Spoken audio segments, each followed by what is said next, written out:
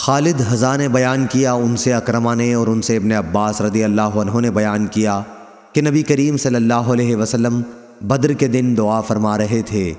उस वक्त आप एक खैमा में तशरीफ़ फरमा थे कि अल्लाह, मैं तेरे अहद और तेरे वादे का वास्ता देकर फरियाद करता हूँ।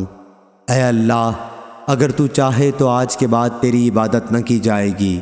इस पर हज़रत अबू बकर रदी अल्लाह ने आपका हाथ पकड़ लिया। और अर्ज़ किया, बस कीजिए अल्लाह के रसूल, आपने अपने रब के हुजूर में दुआ की हद कर दी है। आ, हज़रत सल्लल्लाहु अलैहि वसल्लम, उस वक्त ज़रा पहने हुए थे। आप बाहर तशरीफ़ लाए तो ज़ुबान मुबारक पर यह आयत थी।